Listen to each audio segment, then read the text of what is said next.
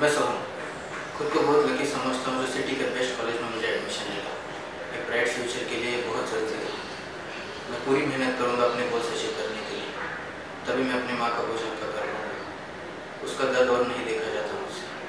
दिन रात मेहनत करके वो मुझे पढ़ा रही है, घर चला रही है, पर ज़्यादा दिन तक नहीं। मैं कोई कसर नहीं छोड़ूँगा। अपनी माँ को एक आराम की ज़िंदगी